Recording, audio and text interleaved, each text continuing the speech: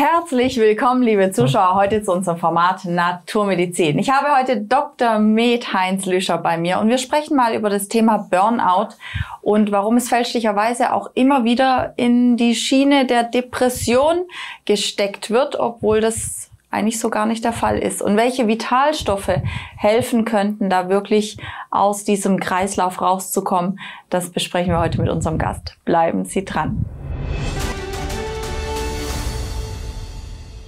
Hallo lieber Heinz, schön, dass du da bist. Hallo Corinna. Ja, ich wollte mal hm. wirklich mit dir so ein bisschen das Thema Burnout beleuchten ja. und wie das äh, in der Schulmedizin gehandhabt wird und was so deine Auffassung dazu ist. Also, Burnout ist häufig, wird auch als Modediagnose bezeichnet. Mhm. Äh, das ist für mich keine Modediagnose, ist sehr real. Menschen, die sind plötzlich einfach fast wie tot. Die mögen nicht mehr, können kaum mehr aufstehen. Einfach fast über Nacht kommt ein Zusammenbruch und, und äh, man ist aus der Arbeitswelt draußen. Also wirklich ein, ein, ein schwerwiegendes Problem für die Betroffenen. Hm. Meine Erfahrung ist, man nennt es ja Burnout, also ausgebrannt sein. Und äh, Schuld oder man gibt die, der Arbeit die Schuld. Und das sehe ich nicht so. Mhm. Ich glaube nicht, dass Arbeit alleine Menschen in einen Burnout führt. Es sind immer irgendwelche zwischenmenschlichen Konflikte noch dabei. Mhm. Ja, das kann am Arbeitsplatz sein, dass man gemobbt wird oder, oder der, ein Vorgesetzter drückt einem oder so. Das kann sein. Häufig sind es familiäre Probleme im Hintergrund. Man arbeitet zehn Stunden intensiv und anstatt dass man dann nach Hause oder in die Oase kommt, gehen die Probleme dort weiter. Das hält niemand aus.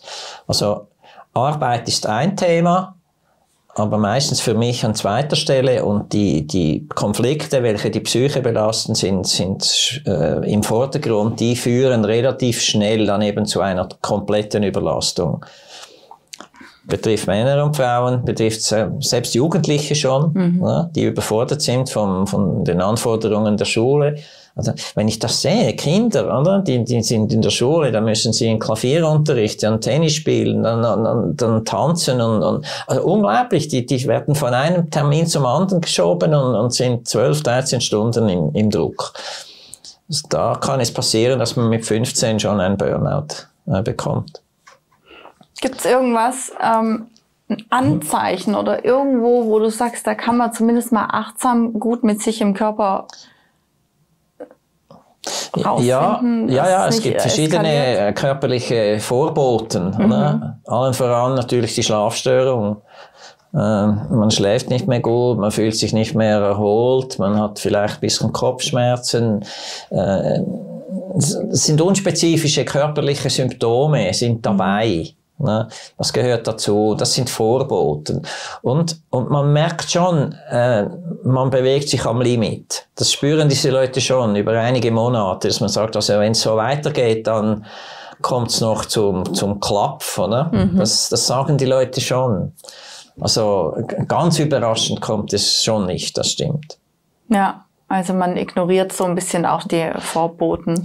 Ja, sie werden ignoriert, aber ja, aber zum Teil auch, weil man nicht aussteigen kann. Mhm. Oder? Wenn, wenn du ein, eine Arbeit hast und du bist gefordert, du musst das bringen, sonst verlierst du den Job. Ja, was willst du dann? Mhm. Und die, und die, die zwischenmenschlichen Probleme lassen sich auch nicht einfach so wegschieben. Also, die Leute können gar nicht aussteigen. Aber bei, wenn jemand, ich habe manchmal Patienten, die sagen, ich spüre, ich gehe auf ein Burnout zu, kann ich es verhindern? Mhm. Dann sage ich ja, das kann man, aber es braucht eine Umstellung in den Lebensumständen. Äh, also man, ohne, ohne Veränderung, ohne mehr Ruhezeiten, ohne Lösen der Konflikte, da, ohne das geht es nicht. Und dann, dann wird es schon schwierig. Mhm. Die Leute hoffen, oder? Ich, ich hätte ein paar Pillen und mhm. dann könnten sie das weiter so führen, aber das funktioniert nicht. Also wir brauchen genügend Ruhezeit. Wir brauchen einen guten Schlaf. Ja. Von den Möglichkeiten der Diagnose gibt es ja auch immer wieder ähm, schulmedizinisch wird dann relativ schnell eine Depression oder vielleicht auch Antidepressiva oder ähm, ja, Serotonin, ja. Wiederaufnahmehämmer äh, verschrieben. Also macht es das Menschen, Sinn? Menschen im Stress, die, die eben unter Druck sind und merken, ich werde krank, da ist niemand depressiv. Mhm. Praktisch nicht. Für mich ist das Burnout keine Depression. Es ist eine körperliche Erschöpfung. Und zwar die Nebenniere bricht zusammen. Die mhm. Nebenniere produziert keine Hormone mehr. Es geht vor allem um Cortisol und, und äh, äh, DHR. Mhm. Wenn diese, diese Hormone einfach wirklich nicht mehr äh, produziert werden, dann ist der Körper weg. Einfach erschöpft, geht nichts mehr. Und deswegen, äh, das Wichtigste für mich in der Therapie ist dann die Wiederherstellung der Nebenniere. Aber das braucht Zeit, das kann mhm. ich auch nicht über Nacht. Was ich sehe, oder? deswegen kommt das Wort Erschöpfungsdepression. Äh, Burnout betrifft ja aktive Leute. Ja. Manager, Sportler, mhm. Spitzensportler. Die dann auch noch die, auf Marathon trainieren, obwohl ja. sie schon 80 äh, Stunden Woche haben, so nach dem Motto, gell? Ja, ja. ja das ist typische Manager-Burnout. Mhm. Die sind dann auch in der Freizeit noch, müssen sie die Besten sein. Mhm. Ja, das geht nicht. Aber, weißt du, ich glaube, mir würde es auch so gehen. Wenn ich einen Zusammenbruch habe, jetzt sitze ich da zu Hause, eine Woche, zwei Wochen, kann kaum aufstehen, mhm. kann kaum eine halbe Stunde spazieren. Ich will arbeiten. Ich will etwas tun im Leben. Und wenn du merkst, das geht nicht mehr, dann gibt es eine Reaktion. Und die kann depressiv ausfallen. Nicht bei allen, aber das ist häufig, dass dann in, in, im zweiten Schritt eine Depression folgt, eben eine, eine reaktive Depression auf diese fehlende Kraft. Ist ja auch bei Sportlern, ja, weil als Sportler bist du ja dann so einen gewissen Serotoninschub, äh, Adrenalinschub gewohnt und hast dann plötzlich, sagen wir mal, eine Verletzung, die dich ausnockt. Ja. Entsteht ja genau das Gleiche. Genau ja? das Gleiche, ja. Ja. ja. Ja, also Spitzensportler sind oft von Burnout betroffen. Einfach wegen dem Druck. Schau mal, was man mit denen macht, wenn die mhm. gewinnen, oder? Die, die ja. haben einen Interview-Marathon die halbe Nacht. Mhm. Oder? Und du solltest wieder leisten am anderen Tag. so eine Nebenniere, Regeneration, mhm. wie kann ich mir das vorstellen? Wenn die so aufwendig ist. Jetzt kommt die Gretchenfrage, aber natürlich das Wichtigste. Schau, dass, dass, äh, die Hormone müssen wieder von selbst produziert werden. Ich könnte ja Cortison geben, aber mhm. dann unterdrücke ich die Nebenniere von außen und dann geht's gar nicht mehr. Mhm. Das darf man nicht. DHA kann ich ein bisschen unterstützen, mhm. aber Cortison nicht. Und äh, die Nebenniere ist ein Organ wie jedes andere. Es braucht neue Energie, mhm. Mikronährstoffe, vielleicht IHHT-Behandlung. Das ist bei uns ein bisschen das.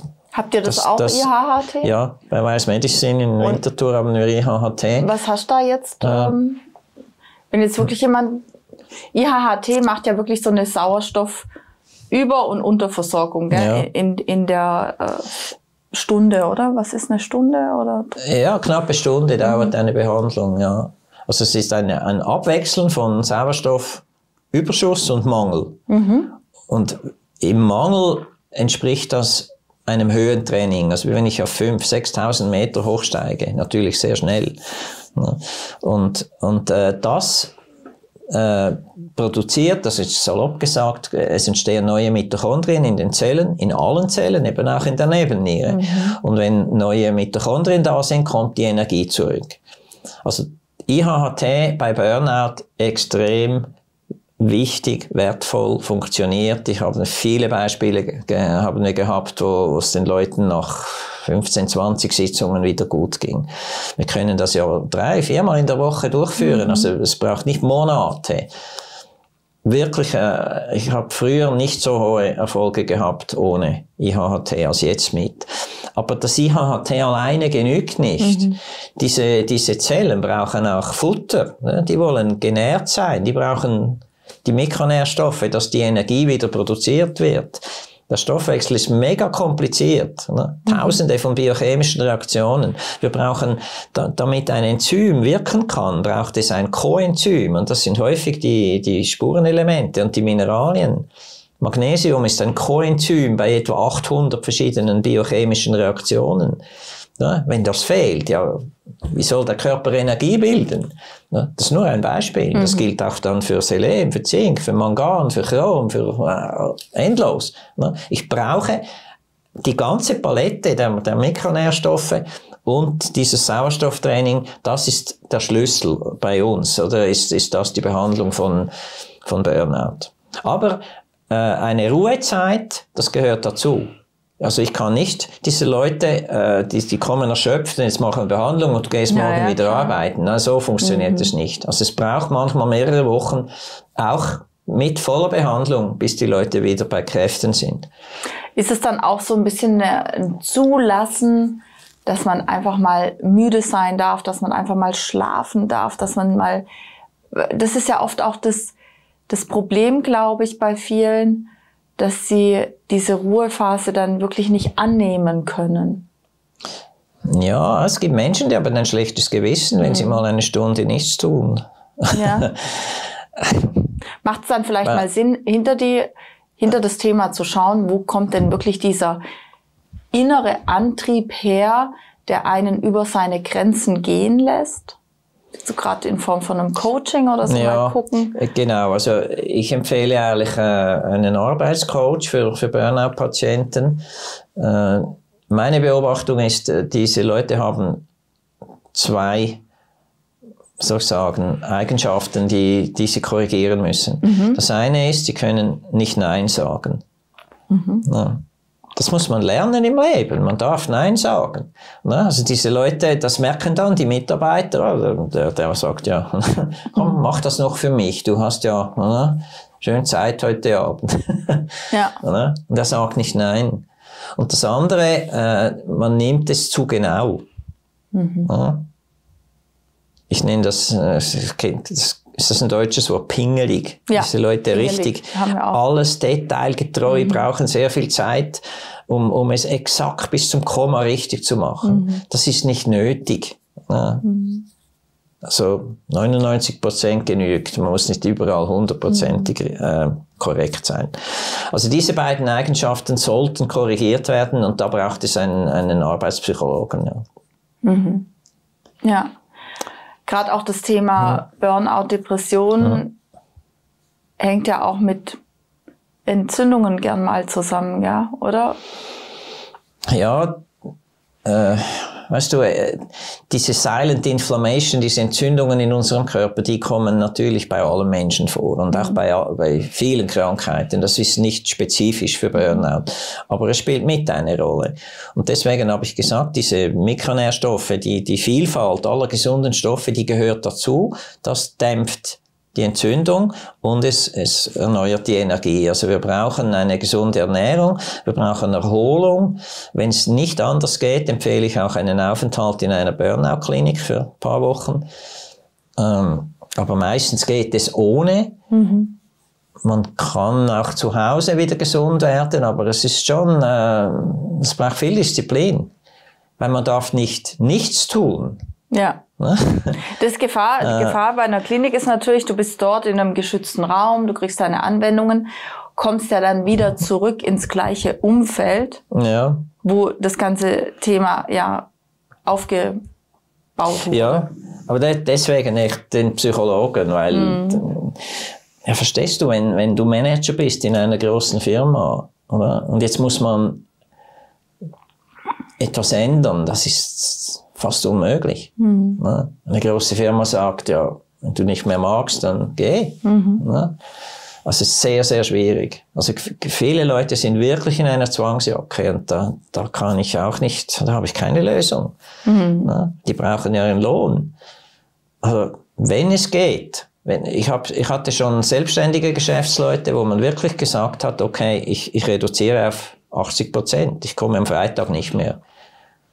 Man schaut, dass ein jemand anders dann den Chef vertritt oder, oder wo immer. Aber wenn das gelingt, dann hat man eine gute Chance, dass die Leute nachher gesund werden, gesund bleiben. Mhm. Aber es braucht irgendwo eine Reduktion des Stresses und es braucht eben eine Lösung bei den zwischenmenschlichen Konflikten. Mhm. Ja, aber ja, schnell gesagt und schwer getan. Mhm. Ja. ja. Wenn ich jetzt wirklich sage, okay, man guckt dann auf der psychologischen Ebene seinen Teil an, vielleicht dann auch nochmal innere Antreiber nochmal analysieren und hm, man braucht aber dennoch, auch wenn man diese innere Arbeit macht, ein funktionierendes Körpersystem. Also ich bin ja auch immer ein Fan von diesem wirklich in die Tiefe schauen, aber gleichzeitig ist es natürlich auch wichtig, dass der Körper eine gute Verfassung, eine gute Struktur hat. Hm, was gibst du da so den, den Burnout-Patienten so mit als Tipps, Alltag? Was, was können sie da wirklich auch, auch Nährstoffe oder äh, vielleicht Rituale oder? Ja, ja. Also ganz generell, es braucht gesunde Ernährung, Mikronährstoffe. Mhm. Wenn, wenn die fehlen in der Nahrung, dann muss man sie zuführen in Form von Produkten. Mein Lieblingsprodukt ist Vitality Shot. Es braucht Omega-3-Fettsäuren für das Gehirn. Wir brauchen genug Vitamin D. Wir brauchen äh, ja, was immer, oder? Äh, für, für äh, das Gehirn kann auch mit Q10 gut arbeiten. Also mhm. Coenzym Q10 ist ein, ein Energieträger oder ein, eine Vorstufe, das Energie bildet im Gehirn. Gehirn und Herz brauchen sehr viel Q10. NADH ist ein Stoff, den man geben kann. Beides zusammen, NADH und Q10, sind direkte Vorstufen vom, vom Körperenergiemolekül. Mhm. ATP heißt das. Also da kann man schon sehr nachhelfen. Bisschen Hormone anschauen. Also äh, bei, bei solchen Patienten braucht es große Abklärungen, breite Abklärungen. Wo sind die Mängel? Und entsprechend dann halt reagieren. Aber also Ernährung, äh, Versorgung mit Mikronährstoffen, dann genügend Schlaf. Das ist, äh, wir schlafen zu wenig. Das ist so. Ne? Ich merke es an mir. Ich brauche acht Stunden Schlaf. Mhm. Wenn ich mhm. die nicht habe, bin ich am Morgen nicht ganz fit. Und, und viele Manager denken, ja, fünf Stunden, das tun's, tut's auch, und, und oder? zwölf ins Bett, um sechs wieder ins Büro. Das, das, das kann man nicht langfristig machen. Also Ernährung, Schlafen, Sport, Bewegen, Sauerstoff. Ja. Aber nicht wie ein Wilder, nicht Marathon am Sonntag, mhm. sondern locker. Ja. Mhm. Ja. Ich gehe oft wandern. Für mich ist Wandern eine, eine unglaubliche Erholung. Oder bei schönem Wetter Velo fahren. Ja, ja das kann jeder. Auch die das ganzen sind, Studien mit diesen aus China mit den Waldbaden und die ganzen Thematiken, ja. was da alles auch auf Photonenebene stattfindet und ja, im Wald haben wir Sauerstoff und, und also es ist wirklich eine Erfrischung des Körpers, wenn ich ein bisschen mhm. im Wald herumrenne. Mhm. Aber es braucht Zeit und die muss man sich nehmen, weil das ist Ruhezeit. Mhm. Also wirklich sieben Tage Stress, das hält kein Mensch länger aus und das, das haben heute viele. Oder? Aber das ist Eigenverantwortung. Ich muss immer appellieren an die Eigenverantwortung. Der Arzt kann nicht Menschen gesund machen. Ich bin nur ein Ratgeber. Oder? Umsetzen mhm. muss es der Betroffene. Oder ich bin ein Wegweiser, aber wandern muss der Betroffene. Es gibt ja auch diesen Eustress, ja, wo, wo, das ist ja auch tückisch, ja, dir, dir macht's Freude, du bist völlig motiviert und, und gehst auf in deinem Beruf, aber immer unter Strom natürlich. Das macht auch sicherlich was mit den Nebennieren, was man aber in dem Moment vielleicht gar nicht so merkt. Ja, äh, richtig. Also äh, es gibt Fälle, wo, wo man äh, unter Dauerstrom ohne äußere Konflikte auch in ein Burnout gerät. Mhm. Aber es ist eher selten in meiner Erfahrung. Ich habe mhm. äh, meine Patienten, die haben Probleme, meistens Eheprobleme, äh, logisch, wenn der Mann nie nach Hause kommt, hat er irgendwann ein Problem. Oder wenn er zu viel zu Hause ist. Kann auch sein. wenn er dann im Burnout sitzt, dann ja. ist er zu viel zu Hause. ja, also, aber du hast recht, ja, dieser Eustress, aber das habe ich auch, weißt mhm. du, ich arbeite so 10 bis 11 Stunden Ich bin 73 ja, und mhm. mir macht das nichts aus. Das ist pure Freude. Mhm. Aber es gibt schon Momente, oder? wo ich auch denke, meine Güte, was mache ich da? Oder? Ja. Also es gibt ja keine Arbeit, wo nur alles Freude ist. Es mhm. hat überall äh, Konflikte und da mal ein Problem und das, das muss man halt dann auch lösen. Aber äh, ich, eben, ich nehme mir dann am Abend Zeit, ich nehme am Wochenende Zeit, ich habe genug Erholung und deswegen passiert mir nichts. Mhm. Schön. Das kann ich nur allen empfehlen. Mhm. Ja. Ja, und eine gute Nährstoffversorgung. Ja. Und du isst Salat, obwohl du Nudeln liebst. genau. ja, schön. Zum Abschluss, wenn jetzt wirklich, ähm, ja, dass man sagt, man gibt es vielleicht mal so eine Statuserhebung, dass man sagt, komm, ich mache mal eine Analyse, schau mal so ja. ein paar Sachen nach. Ja, man kann äh, das äh, Cortisol-Tagesprofil kann man durchführen. Mhm. Das kann man im Speichel messen. Ähm, man misst drei oder viermal im Tag Cortisol.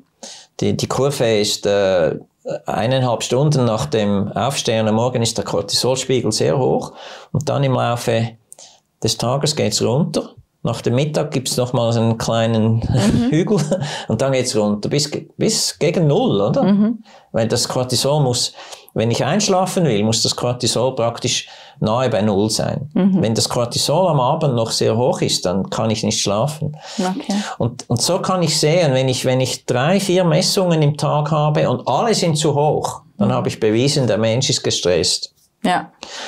Und im Burnout sind alle Messungen dann zu tief, weil die Nebenniere erschöpft ist. Also ein Cortisol-Tagesprofil, das ist für mich äh, labormäßig das einfachste und, und äh, aussagekräftigste. Mhm. Ja. Super. Ja, echt, ja, wahrscheinlich der sinnvollste Weg, einfach präventiv da schon mal vorzusorgen. Ja. Und klar, Bewegung, gesunde Ernährung haben wir jetzt schon gehört. Ja. Ja, vielen Dank, Heinz, dass du ja, heute da warst. Gerne. Gibt es noch ein wichtiges, äh, irgendwas zu sagen, wo du sagst, hier für die Zuschauer auf dem Weg?